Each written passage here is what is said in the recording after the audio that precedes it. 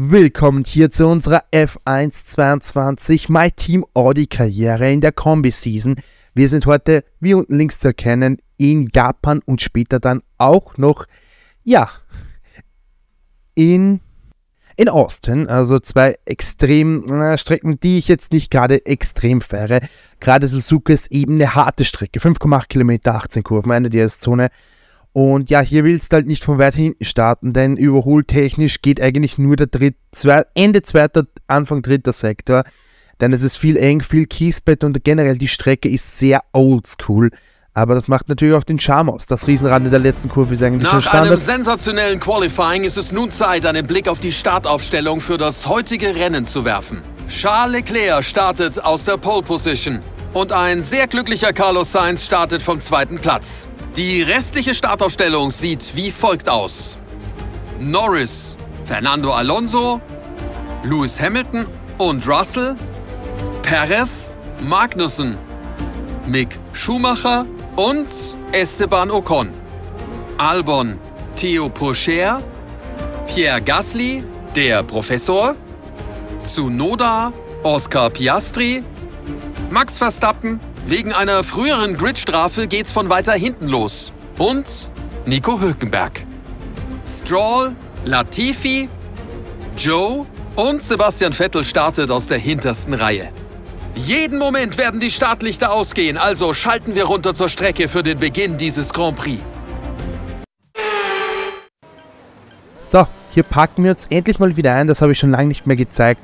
Wir schaffen den lilanen Start, aber ein bisschen mit ja, mit Reserven 0,6 Meter, 60 Zentimeter, 60, 6 Zentimeter, irgend sowas, äh, fehlen da. Auch vielleicht ein englisches, ähm, ein amerikanisches System. Aber jetzt geht's mal hier los.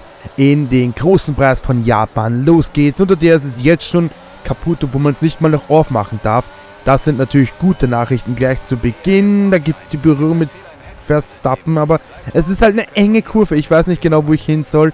Ich mag die Strecke nicht besonders und gerade auch der schlechte Startplatz macht das heute nicht viel besser. Hier haben wir direkt einen Train vor uns. Da ist Yuki aber angeführt wird davon, ich glaube, einen Haas. Also das ist nicht toll. Also natürlich jetzt mal cool, dass wir hier gleich mal ein paar auf dem Tablett serviert bekommen, aber man muss natürlich auch vorbeikommen an denen.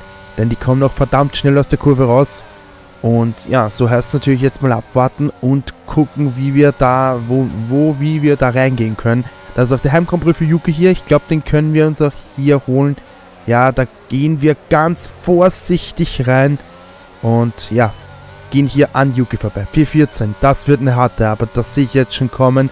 Das Rennen wird sehr, sehr schwierig werden. Denn wie gesagt, es ist unheimlich schwierig hier zu überholen. Aber wenn du dann mal an dem vorbeikommst oder an zwei vorbeikommst, ist es natürlich ein Segen. Vier Plätze und wir holen den ersten Punkt vorne fern, wie dabei der Ferrari. Also ja, jetzt konzentrieren wir uns aber mal auf unser Rennen. Denn es kann vieles passieren und wir haben noch ein paar Rennen, bis dann endlich das Saisonfinale kommt. Im Windschatten hier Full Speed an Pierre Gasly dran. Und jo, da geht noch nichts. So, aus der letzten Gruppe sind wir ein bisschen schneller rausgekommen als Gasly. Und im Windschatten könnten wir, ja, das schert schon aus, da gehen wir, ja, innen rein. Wow, oh mein Gott, ja, das war, huh, da, da, da hätte echt mehr sein können. Gehen wir mal in die Replay. Und beide Ferrari von 1 und 2, wie gewohnt, es ist einfach lächerlich. Es ist wirklich manchmal so undankbar, dieses scheiß Game. Ja, da gibt, das war hier die Berührung mit äh, Max Verstappen. Ja, es war ein Wheelbang, würde ich sagen. Das ist noch in Ordnung. Da gehen wir auch ordentlich auf den Körb drauf. Und ja, wir sind halt extrem weit hinten im Feld. Aber ja, vielleicht wird das noch was mit der Aufholjagd. Auch strategisch ist natürlich wieder einiges drin. Undercut, äh, gerade in der 25% Variante, ist eigentlich eh ja schaffbar. Wir könnten, ähm, ich freue mich auch schon auf F1 23, denn da endlich die 35% Rennen zu fahren. Das ist endlich mal eine Abwechslung zu diesen langen 50 und zu diesen extrem kurzen 25% Rennen. Wir sind immer noch hinter Pierre Gasly hier in der zweiten Runde. Jetzt drückt aber auch schon langsam Max an und wir müssen jetzt hier was machen. außen wird es nicht gehen. Wer hat die bessere Beschleunigung? Doch, ja. Aber hier können wir dranbleiben und gehen an Pierre Gasly vorbei. Das ist P13, das ist okay. Hier wohl auch die Red Bull wundert mich, wie schlecht die gerade beieinander sind. Ja, die sind echt richtig grottig. Hier Theo Poucher und im Windschatten außen. Nein, da gehen wir nach innen und ganz spät machen wir hier den Move. P12, das geht. Da kommen wir auch endlich ein bisschen nach vorne.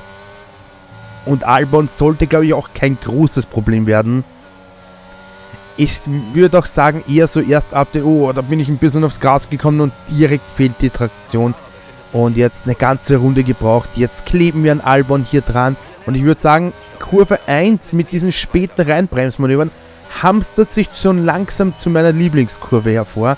Denn hier haben wir schon viele Überholmanöver gemacht. Das ist P11 und wir sind kurz vor unserem ersten Punkt, denn Esteban Ocon wird hier von Mick Schumacher aufgehalten, der auch da mit Magnussen schon ordentlich abreißen hat lassen.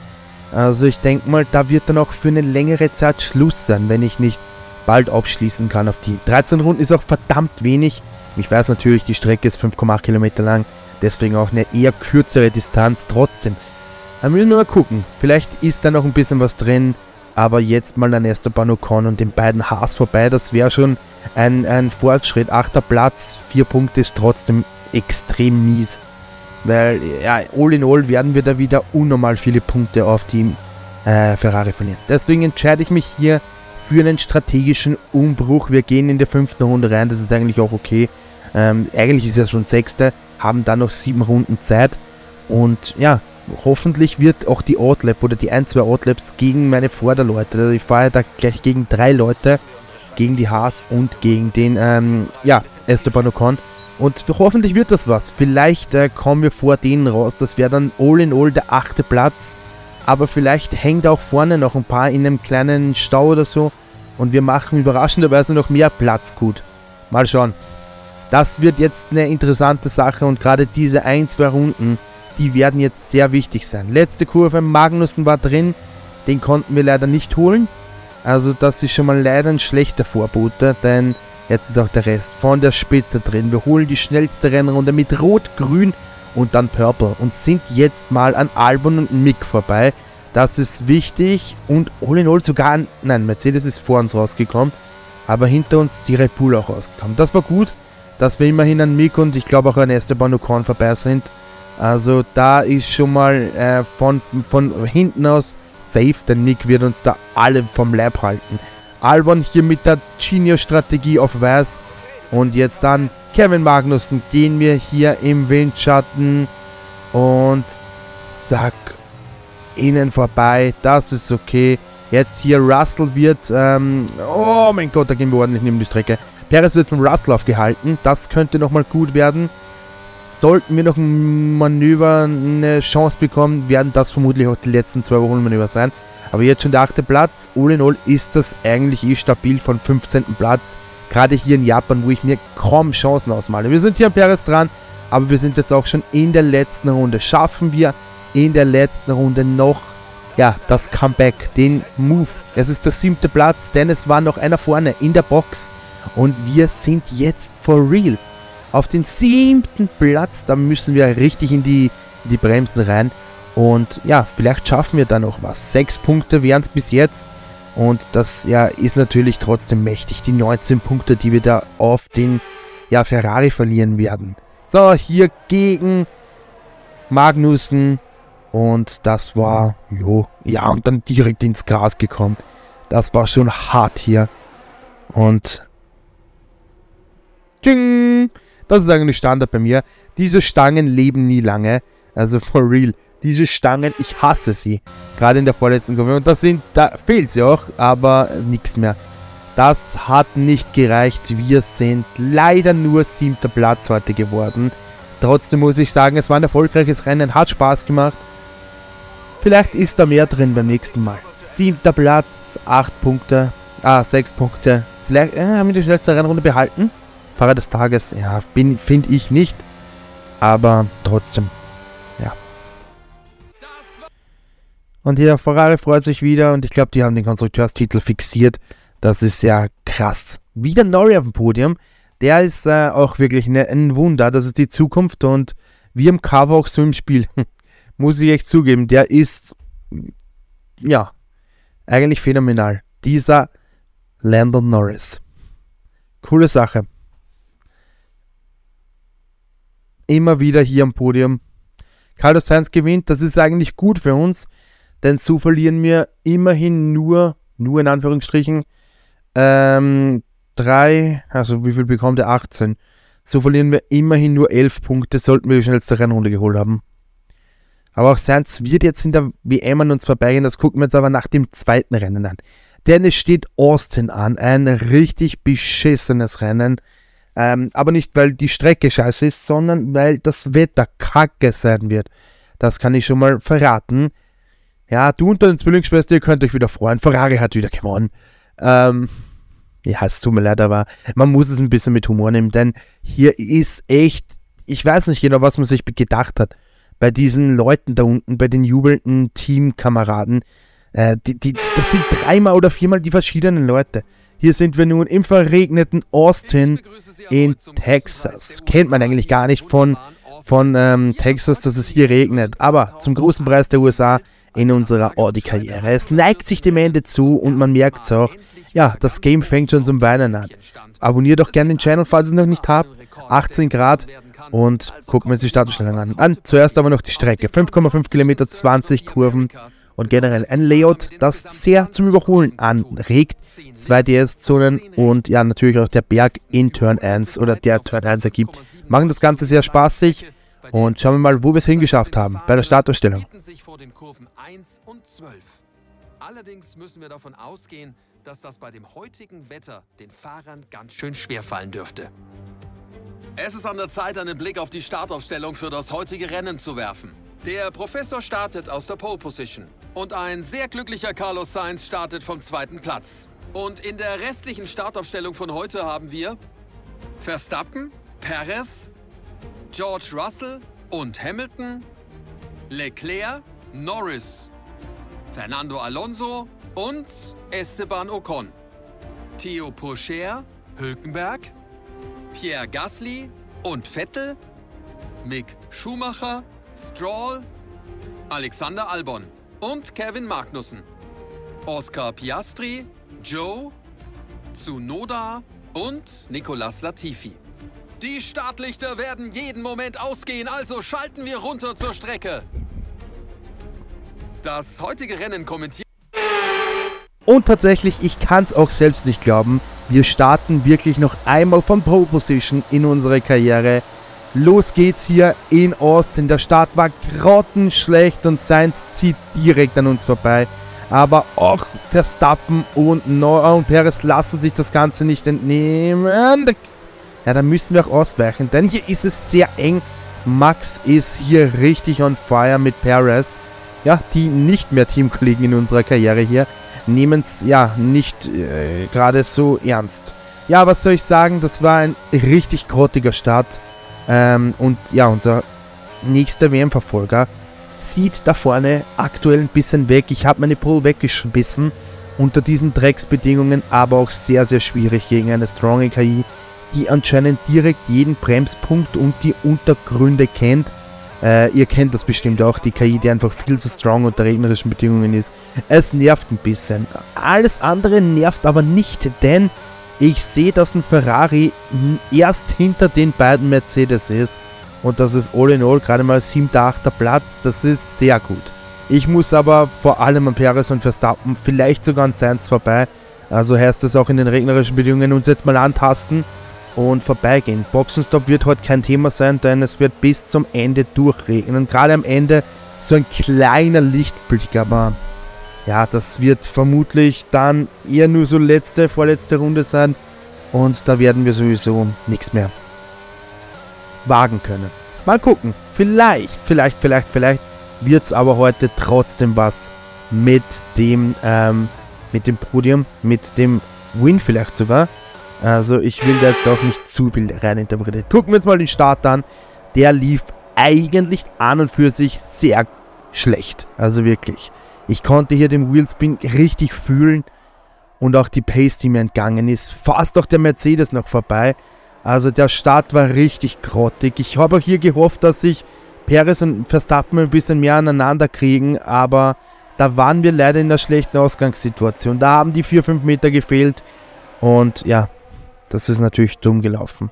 Das war eigentlich das Worst-Szenario, was hier abgehen hätte können. Und das ist es dann leider auch. Wir über verlieren hier unsere ja, größte Chance vermutlich, die WM-Führung zu verbessern.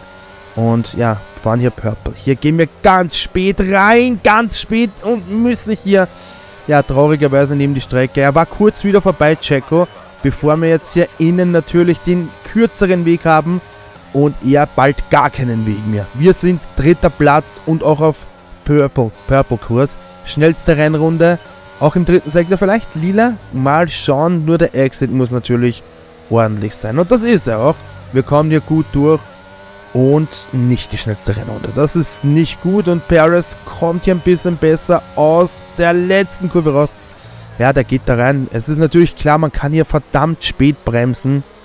Und ja, aber ich habe trotzdem noch die bessere Line. Gut, Checo ist hier richtig und gut unterwegs. Der wird uns hier richtig, richtig, richtig jagen noch. Und Verstappen ist ja generell bekannt als ein sehr guter Regenfahrer. Also gegen den irgendwas auszurichten, da musst du schon ordentlich Pressure machen oder eher mal einen Fehler. Es wird hart werden. Es wird sehr, sehr hart werden. Wir springen vor in Runde 8 und da kommt der späte Move und Ende Sektor 2, jetzt sind wir ganz nah an Max dran. Aber der kommt so schnell aus diesen Kurven raus, das ist schon beinahe illegal, wie schnell der ist. Im Windschatten schaffen wir es aber immerhin irgendwie uns neben ihn zu setzen. Und natürlich sein Fehler hier, er positioniert sich außen und wir können hier innen durchstechen. Das ist der zweite Platz und das ist genau das, was wir brauchen. Eventuell sogar noch, ja, ein bisschen aufholen und dann noch den Sansi holen. Chili, wir müssen ihn eigentlich überholen. Und ja, schauen wir mal, wo wir da hinkommen. Vielleicht wird das noch was mit der Gap. 2,6 Sekunden. Jo, das 2,7. Oh, da kommt der Pendler mitten in der Kurve, ist der Quersteher. Das ist gar nicht schön. Das war gar nicht gut und da schaffen wir auch die vorletzte Kurve nicht. Jetzt aber T20, die müssen wir eigentlich gut mitnehmen, um hier Schwung mitzunehmen. Schnellste Rennrunde für Carlos Sainz, 1,44,7. Wir halten aktuell die schnellste Rennrunde, sind am Ende der 12. Runde und kleben hier an Carlos Sainz Jr. dran. Die Bedingungen haben sich geändert, es ist trocken und wir müssen halt jetzt mit diesem Intermediate uns durchschlagen. Eine 1,41,6 gegen eine 1,41,8, das heißt zwei Zehntel ohne Null haben wir ein bisschen verloren. Aber es sind jetzt auch die Bedingungen, wo man nicht mehr ähm, ja, schnelle Runden fahren kann, sondern eher so Drive to Survive oder Survive to Drive. Denn man muss hier wirklich jetzt achten, ähm, ja, nicht zu sehr die Reifen zu überhitzen.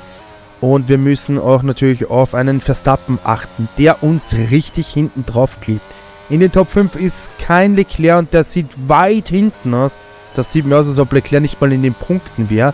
Also das ist ein komplett schwarzes Wochenende.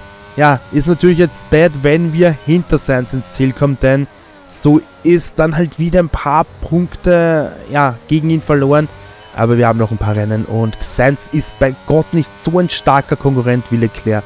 Solche schwachen Momente von Leclerc muss man ausnutzen, denn gerade in unserer äh, zweiten Season hier gab es die noch nicht. Die waren eigentlich immer erbarmungslos und ja, wie soll ich sagen, auch ja, schonungslos. Die haben uns immer ja, geschlagen. So, hier dann in Turn 1. Da wollte ich immerhin schon mal ein bisschen angreifen, aber ist noch nicht gegangen. Dann hier dieser letzte Kurven-Move hier raus und da wäre fast der Counter gekommen von... Nein, wäre nicht, wäre nicht.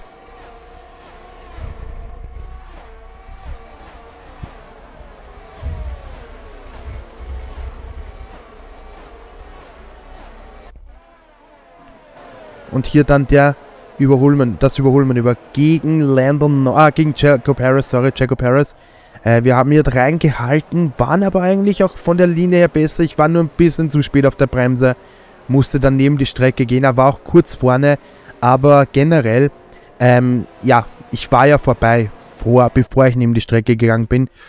schöne Nase, die schon wieder ein kleines Loch hier hat. Das Schadensmodell gefällt mir absolut nicht von dem Game. Also da muss ich ein bisschen was ändern. Da wäre dann der Konter fast von Jacko gekommen.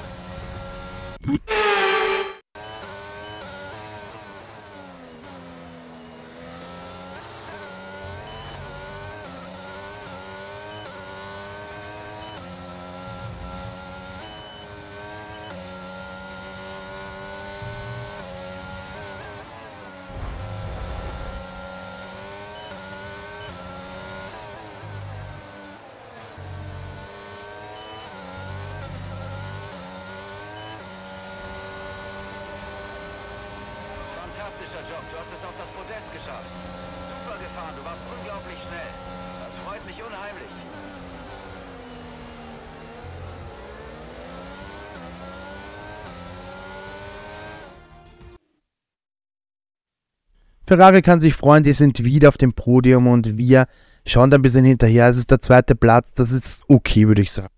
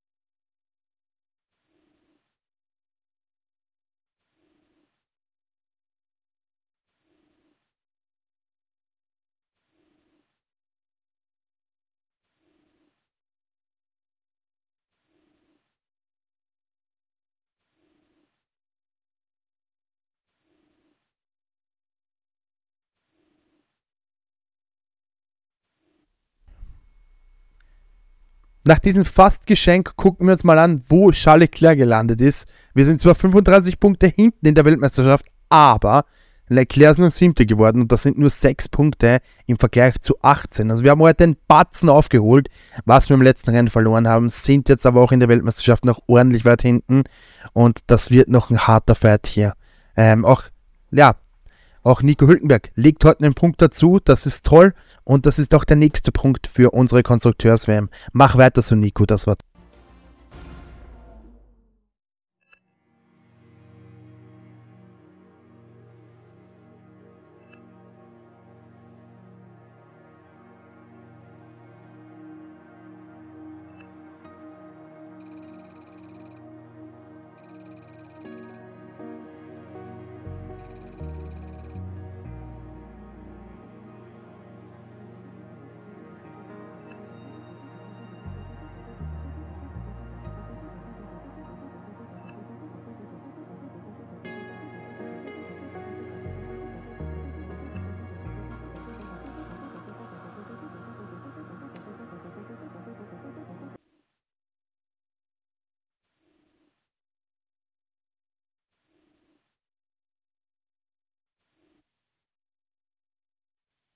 so ein paar Upgrades. Viel geht eh nicht, aber ein bisschen vielleicht noch, äh, dass wir da noch alles steigern können. Für heute war es das aber mal. Später kommt noch die Road to F1 23 in Formel 1 2018.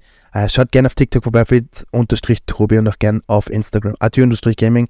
Alle Links wie unten in der Bio und Falls euch mein Content gefällt, abonniert natürlich gerne kostenlos und lasst doch gerne Däumchen oben da. Mich würde es extrem freuen. Bis morgen oder später auf TikTok oder hier nochmal auf YouTube und ciao.